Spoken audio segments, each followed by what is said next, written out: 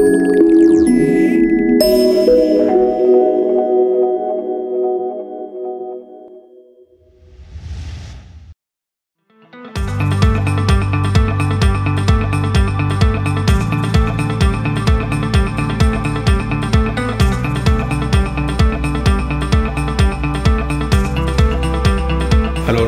This week's Small Business Show, and I'm delighted that I'm here at the uh, Nexus Innovation Centre. I'm talking with Barry from uh, Arralis. Uh, thanks very much for joining us. Cheers, thanks for having me. Uh, first of all, Arralis, what is it that you do? Um, at Arralis, we're, we're very focused on solving this societal thirst for kind of high data rate communications and higher and higher resolution uh, radar technology. So that, that's our key focus. Um, And to the to the to the layman in the street, what does that mean? that was my layman's explanation. So I, essentially, I mean, the layman is, is the causer of all these problems. Um, the layman wants higher and higher data rates communication. They want they want wireless data, and they want it they want it everywhere. And um, so that that's really that's the big picture. That's the the stuff we're uh, solving. And then in terms of in terms of high resolution radar, I guess where people interact with it most will be in automotive. Uh, that, that's where the layman will get involved. And so people have reversing sensors in their cars and things like that. Well, the very high end automotive um, cars, so the your car, um, has a. You haven't seen my car. it's not a. so they, they're at 77 gigahertz now. So they, they you know, the, the cars can park themselves essentially. So we center at 94 gigahertz, and what that means is just higher resolution. So as you move into more autonomous vehicles and things like that, then the higher resolution becomes much more important. So we tend to only go one way with this stuff. We want more data, and we want higher resolution, and that's where we focus. That's that's where our, our And it's been interesting as well, your journey. I was talking to you beforehand, and from all the information, from all the things that I that I know about you, I kind of followed you over the past couple of years as well. It's I thought you were, you know, this company that was here for a very long time. You're you're two years old, three years old in in actuality. Yeah, two years young. Yeah, absolutely. Yeah, we, we kicked off pretty much around December of 2013. So yeah, we kind of had our, our two year anniversary this year. So um, yeah, and it's it's it's been it's been busy. Um, it's been exciting. I suppose it we've we've had to do a lot, but you do a lot in the first two years anyway. You know, if you're not doing a lot in your first couple of years, you know. That's true, yeah. Yeah. And talk to me a little bit about some of the stuff that you've done recently as well. You've done, uh, you know, a major contract with the Ministry of Defence as well in the UK with uh, some interesting stuff. Tell us, how did you get that contract and what was it for? Yeah, so that, that, that contract is probably a good definition of, of how the whole aerospace and defence industry is changing. Um, so the, in, in the UK, they've, they've basically changed procurement. Um, and what they do is they, they've now made a lot of defence contracts and things like that um, open to SMEs. And in fact, SMEs have a, have a, bit of an advantage. Um, so traditionally, if you wanted to get into the MOD, you, you had to be a big company, you had to have a big balance sheet, you had to have all that. Whereas now they've leveled the playing field and made it open competition. Um, so they had a requirement. They, they, it, basically, it was for geolocation of soldiers, to, so the soldier knew where he was at all time. Because it's it's very important in the in the in the new defence space that um, really they don't ever want a, a soldier to encounter a bullet. Um, and it's as simple as that. You know, they don't they don't want any loss of life in, in, in modern warfare. So that's what it was all about. It fitted perfectly with what we were doing. So we we were doing a lot of research around the area of geolocation, but high accuracy geolocation. So the G, the GPS that's in your phone, uh, that accuracy is about 20, 30 meter accuracy. Uh, we were doing work on on millimeter accuracy, centimeter accuracy, because one thing we know with all this data rate and all this resolution, you need to know where the vehicle is. You need to know where your spacecraft is. You need to know exactly where it is, not within 20 to 30 meters. So it kind of fitted perfectly. So they put out a tender for that, and um, we, we went into an open tender, and uh, we, we came out on top, which was great because we we've since learned we were up against we were up against two of the biggest uh, aerospace companies in the world, um, and we came out on top. So that, that was really good. So I suppose the second exciting bit of that is they've they've now given us a second contract to go and produce the, the antenna. So that's that's a huge endorsement. And what's interesting about that as well is that here you have a, a company like yourselves up against companies who effectively could throw any amount of money at, at a kind of situation and create it, and yet here you are still being uh, getting getting the contracts and you know being asked to come back again to, to do something else as well. Yeah, and I think that's what everyone's waking up to, and I think that you know even the European Space Agency and NASA and all these guys they're all changing how they do things because physics is physics. That doesn't change no matter how much money you have. Mm. So it's not like monkeys and typewriters and you'll get Shakespeare. You know, it, it, even in in in Airbus or if it's in Boeing or wherever, it's one or two engineers that normally come up with these solutions. So if you've got the good guys, um, then then you can do it too. And uh, we, we, we just happen to have some really good guys that could go out and do that. And I don't include myself in that equation, I can assure you.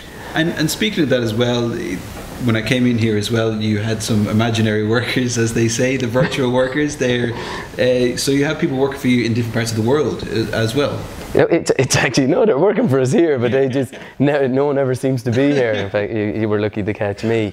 Um, look, we're in Limerick in mm. south of Ireland. Um, if you're not leaving this island and you're in aerospace and defence, then you're you're barking up the wrong tree. Mm. Uh, we've got to be we've got to be on the road all the time. So so Mike and myself do most of the kind of sales travelling, but uh, so we'd be away most of the time. Um, but then the other guys, like uh, yeah, one of our guys is Spanish, so he's at the moment he's he's having an extended uh, holiday. He's back at home, so he's, he's working from there. Mm. Um, again, physics doesn't change, the technologies change, physics doesn't change. He can do his job from there. Um, and then we, we have a design centre in Belfast, and and the guys there. So everyone has to interact anyway from different offices. So yeah, and on any given day there can be there can be one or ten people in the room, you know. And you've got uh, a lovely addition to your office uh, coming soon as well. Your little uh, research hub, as people might be able to see in the background from this camera. Yeah. So yeah, we're, we're, we're building a, a, research lab. We kind of weren't happy with, with maybe the, the speed of um, supply chain in terms of when you just want to iterate something quickly um, and want to fabricate something quickly. And that in our space, actually, that traditionally you don't. Um, you know, traditionally you take three to five months to kind of develop something new. That doesn't suit us. Uh, you've probably sensed we're in a, a rush yeah. with what we want to do. So yes, we're building this out so that we can we can basically turn around our R and D much quicker, um, and that means working with things like 3D printing and all that fun stuff. And know. does the realization that you were up against those big companies push you even harder to because you know that that they're in the same space, they're doing the, trying to do the same thing that you're doing, mm. and that they've got a much bigger budget to do it, and so you have to constantly keep going and, and push that. Yeah, and I think as well, though, I, I having worked in the industry for a while, you know that that's probably their biggest disadvantage as well. That they are the old big companies, um, and especially in our space, the you know we we're running out of RF engineers, really good guys, um, and so are those guys. Um, so they have a lot of very senior people but people who have who do things because they've always done that mm. way, you know, and, and we hear that every day, and that's brilliant. Every time I go to a company and they say, I say, why are you doing it this way? And they say, well, we've always done it this way. We know we're going to get that customer. Um, it's great because once you show those guys, you know, there's another way of doing this. It can be done. You know, I mean, if you're showing anyone that you can do it better, mm. but you can also do it cheaper and quicker, you know, that's that's a no-brainer. Um, okay, it still takes time, mm. um, but at the same time, they're they're going to get there eventually. So, what do you hope that this research room turns into? Is this going to be your your thought center, the the place where all the great ideas come from, like you said before? Yeah, yeah, exactly. It's it's it's about um, it's about hacking them together quickly.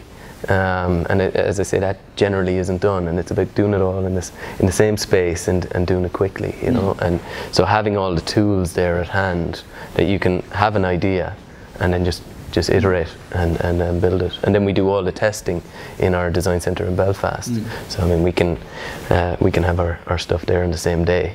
And uh, the guys put it in the anechoic chamber and we've results. I did a, an interview earlier on today actually with uh, Alexander Jukic, from the Tyndall Institute in uh, down in Cork, mm-hmm. and they had him and his team had developed a a, um, a radiation detection, uh, real time radiation mm-hmm. detection system for for the ISS, the International Space Station. And I I asked him at the end of the interview, is it strange or is it interesting, or how do you feel when you realize that a piece of equipment that you've made is floating around the Earth or, or out in space, moving at you know tens of thousands of kilometers per second? I- Is it is it is it a strange feeling or is it just that's my job? I've done it and they they have it.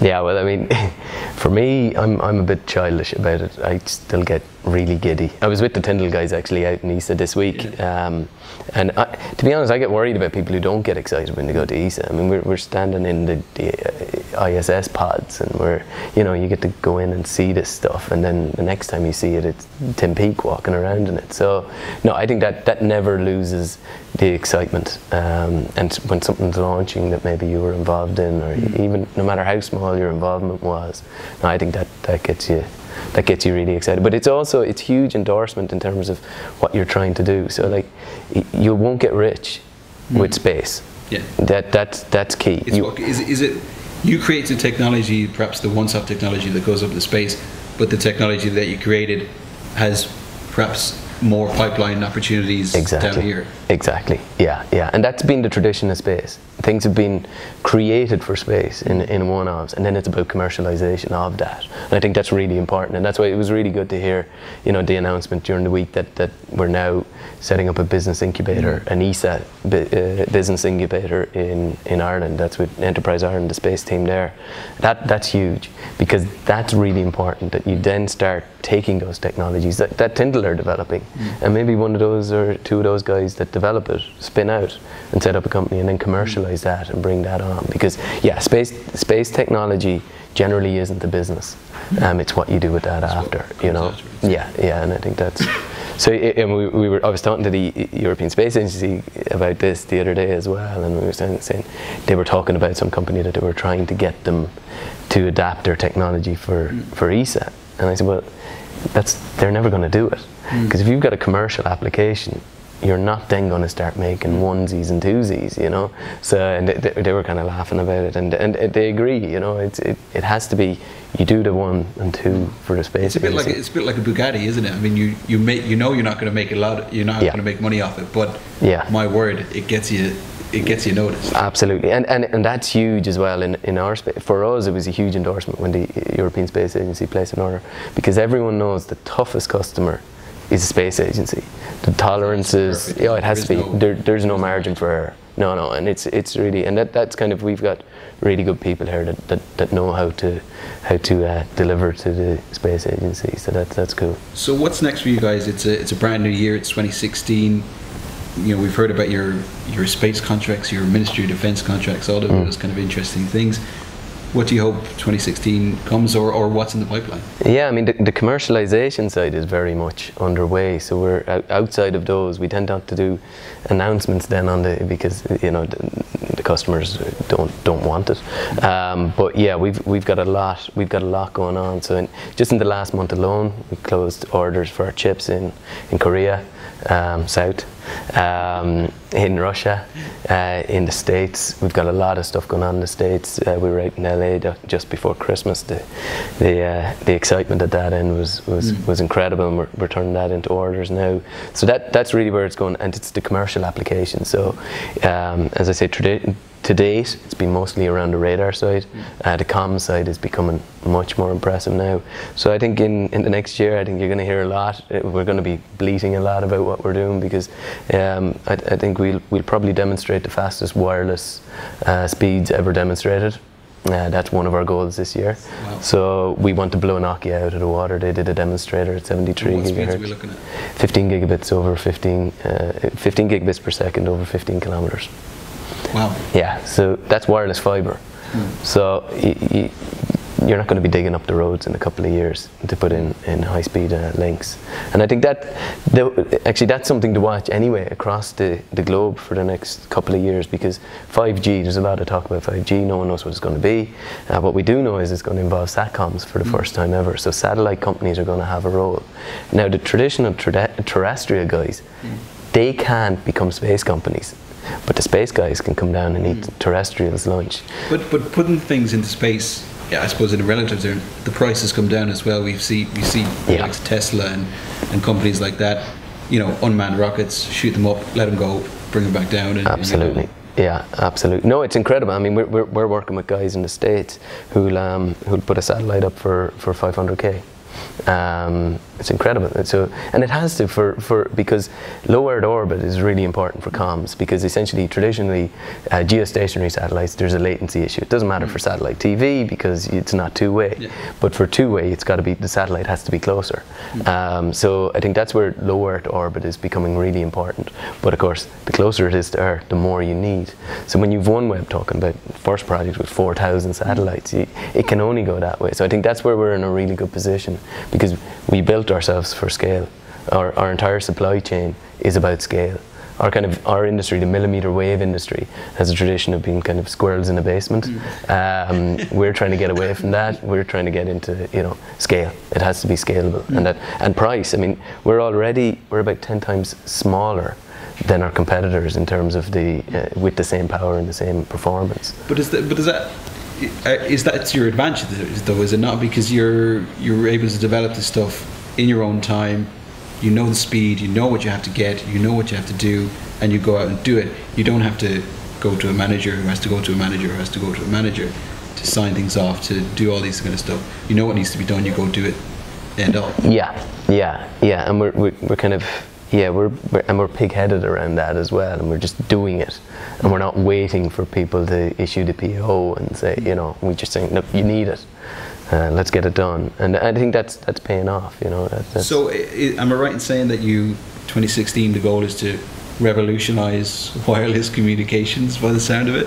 Yeah, it is, and and the radar stuff as well. I think that that's really exciting, and the geolocation. So it's the combination of the three of those, and really commercializing it, getting it down to the price points and the scale, the size, and the repeatability that the drone applications, um, the, the commercial drone applications. We're doing we're doing stuff with drones, but it's it's in onesie twosie zone as well. As well. The the manned drones now will be able to bring you across the city. Yeah. Um, when they, of course, change the laws where people can fly across the. Yeah. Things, but And yeah, and I think the whole drone space is is, is going to be really interesting. So I met with a drone lawyer recently, and, and just really interesting to talk to those guys because they just think all these small drones are just going to be wiped out, gone. Good, yeah. Good luck. They're going to be taken away. And it raises an interesting question as well. CES is on at the moment, the Consumer Electronics Show, massive uh, electronics show that happens in Las Vegas every year.